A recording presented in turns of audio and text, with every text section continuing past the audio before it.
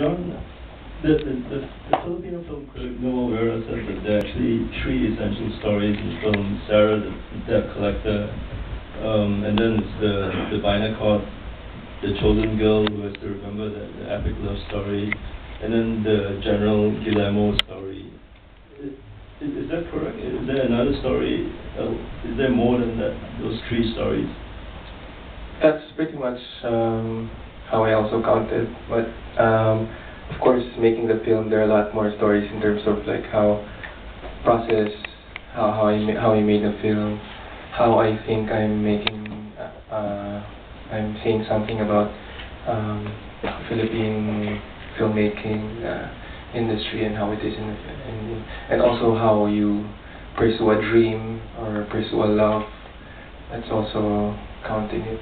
So, but but those are pretty much the narrative things. Right? But which story came first, though? I mean, I know that you you you sort of do your, your stories organically. So, which story came first, and how did you relate one story to the next? Maybe the best way is to just tell you about the process. Um, from my second film, which was mainly mo- uh, mostly documentary footage about what my father, which I felt that I had to do before moving on to other other films. Third film, um, I just uh, wanted to tweak the process a little bit also.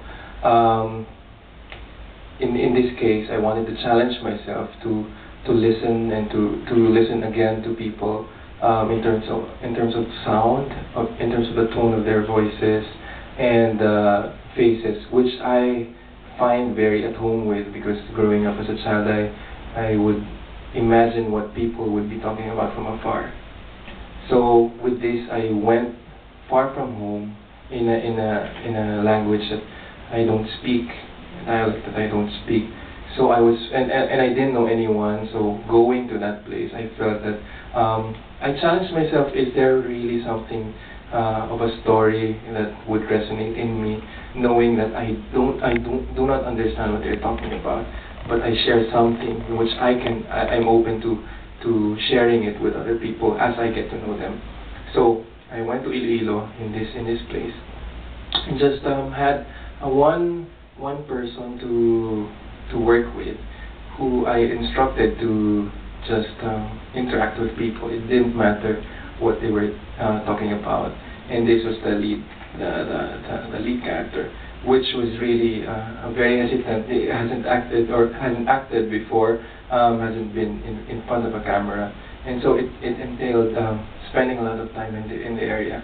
So um, as I just instructed her to to just interact and me shooting from afar, I get to imbibe the the, the atmosphere and how how they do things first and um, spending time with other people in my off times and uh, listening to stories about their myths and the, the myths that they believe in, the history, uh, the history of the place, and of course the uh, the war that happened um, during the American period. But um, this was in combination with uh, my own research of where I where I am, who are the people that I'm I'm talking to, being a stranger and in the process, just um, having a bank of all, all those scenes, very random scenes. It didn't matter what they were talking about. It was just me, just shooting from afar, and then just threading them a little bit, um, rooting out of my own where I'm coming from, which is basically just want, pursuing a dream, pursuing someone, pursu- pursuing uh, a thing, and just moving on to a journey. And in the process, in, in that journey, just having other people view you as coming from point A to point B. Um, in the process, revealing their, their own selves, uh, revealing their, their own um, needs. So they, they view as something so that um, you feel that need for them. But for me, this is just one character going to point to point B from point A. Anyone in the audience? Any questions? Let me try one more on you. Um, you know, this actually your title is a riff on the Nick Deocampo film, you know, and I think that that title was about um, how history sort of turns around and, and comes back So, what were you thinking about when you wanted to riff on the Nick Deocampo film? I borrowed a lot of things uh, making this film. I borrowed from from um, church songs. I borrowed from um, their own uh, stories. I borrowed from a title of a film, which is Revol- "Revolutions Happen Like Refrains in a Song," which just goes, uh, which is a documentary that. Um, uh, from the title, it's saying that in the Philippines there was a time that there were a lot of coup d'etat in, in, in, in one era. It just goes on and on, goes on like a song. I wanted to borrow from that and um, tweak it a little bit, just to say that um, there are refrains happening in a song that that can mean refraining, like uh, uh, um, stopping yourself from, or and also occurring every time. So just, just, just, and in the process, this, this, uh, this has a lot of um, undertones of a revolution, of a fight, of, of being in a crossfire every time. As people view us, view you as an enemy or as an ally, as, as something they know, as something that that can help them in, in their in their own lives. Actu- Actually, what struck me about, you know, watching, because I didn't really get the film the first time when I saw it in, in Rotterdam last year, and I had to see it again, you know, tonight, and what struck me is that, that there are two essential stories. One, one is the story, the epic story of love, where, you know, you're supposed to remember love, but then you have the, that other story about war, because in the general Guillermo story, they actually have to ask the old people to remind um, the fight to the young. So, so you know, it, it's like those two stories are, are sort of the, the conflict and the choice, rather. Especially now, that's also another thing that like um um like 18 year old um voting population um cannot remember anymore the the, the time when Marcos was still um in the Philippines and when he was alive. They didn't even they don't even know Ninoy Aquino. Um so um it it also it just just um talks about that also and and I've been fortunate, unfortunate enough to live in the 70s and 80s to remember this. And this also like, um, is, is it also for me to say that um, I want to pass this story also to them or not? Um, it's also, it's still a que- question. So come on, we like shy people. Yeah. Uh, Willie? Okay. Uh, thank you. I know you, uh, John, is also you like uh, play music, right? And even the title of the of, of your film, the, third film is using music as metaphor, like refrain. I'm curious when you you said that uh, you try to to came to the strange place and then you try to listen everything. Uh, what kind of sound and music, I mean, from, from that place, you really uh, interested when you doing your film? I mean, you record all the sounds like, you know, traditional singings or, I don't know, songs or stories. I find that I'm more open to a, a lot of a lot of uh, kinds of music actually. Um, from from my first film, which was basically uh, pieces from Erik Satie, um, piano pieces uh, performed by, by our colleague and friend, a filmmaker who did the music, to um, the second film, which was more um, uh, played with um, indigenous instruments in Philippines. Um, this was actually very very important for me to to be listening to Christmas uh, church songs. Uh, in, in um, most of us are Roman Catholics, um, and I heard uh, the responsor- these are responsorial songs sung in a, in in a, in a church, and I just happened to uh, imagine um, something far away from that, but far away from, but also very very similar to it.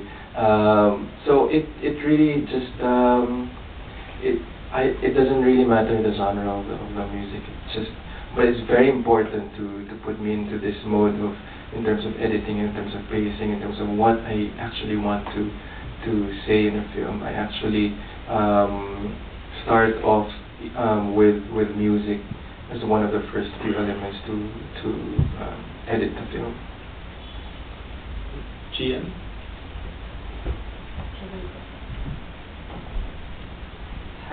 Actually, without uh, like interaction or Q&A with you or your explanation, how will you expect, uh, especially an international audience, to understand your movie?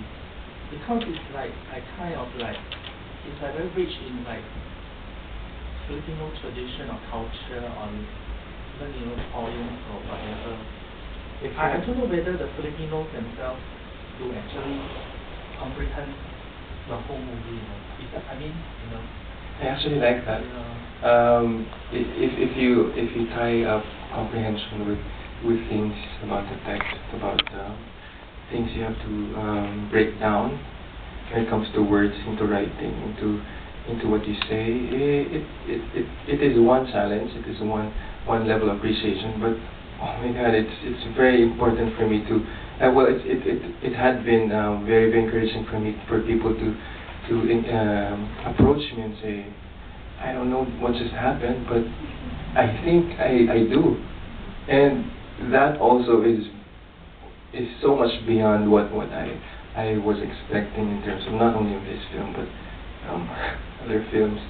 And so, thank you.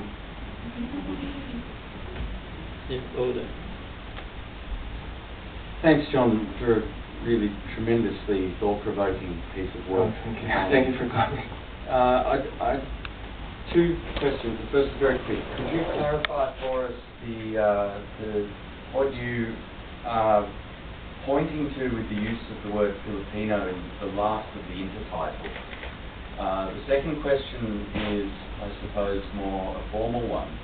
And I'm wondering, uh, the, particularly the use of uh, oral traditions, um, oral storytelling traditions and myth, uh, really indigenous myth, and how very contemporary modes, and you would have to say modern or modernist modes of uh, storytelling with the moving image uh, come together in this work.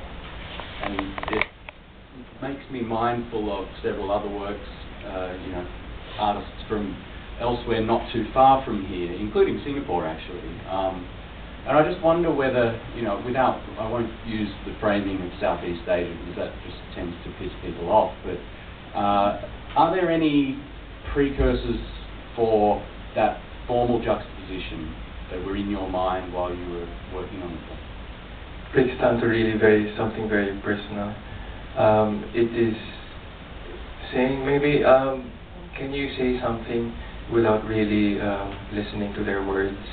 Um, I don't. I don't. It, it really just springs to that, and it, it was a challenge. It was a very personal um, personal undertaking, and it is just that very very humbling. And first the first question is really what is Filipino? I don't really know what is Filipino um, I don't even I don't know because it was also given to me that that uh, label also. Um, I cannot I cannot even begin to, you know to to delineate what it is. Um, but somehow I, I use it and I don't know if it really is an accurate um, or a proper term to use. Yeah, I just wonder because the, the, the sort of slippage between the historical it's everything is really like um the, the, the names are are bastardized bastardized versions of the actual um, historical figures um everything even their their um the the the, the, figures uh, the, the the the dates and the you know the, the places. As I, as I said this is a very personal thing that I I'm you know, I'm I'm making um, coming from what I saw, what I what I heard, what figures I, I read. So it was like even in Philippines, they they say you have to you have to start from from this point, and you have to start from from words. Even in proposals that you you send to pitch to other to other funding agencies, you have to start with a script. You have to start with words. You have to start with an idea. Um, and I say I I just do what I want, and um, I, I'll see if, if it works in the end. There's a lot of there's a lot of points there that I didn't know if I was so, I was going somewhere and I, if this was amounting to something, but ju- just the same, I would have enjoyed um, the process in itself. Any filmmakers want to ask something? Like I, I, I sorry, I, I, I, I pity also. I, I, I also want to to listen. Uh, if if there are other Filipinos who who know the the, the language Hiligaynon, uh, uh, who uh, who will find it extra challenging to to to follow which point you go with the text or with with the words that they hear and, and that they know. So that was. Uh, uh, I want to know if, if other people like understand what because if you know the language, it's it's it's so much different from what what was being screened here, said here.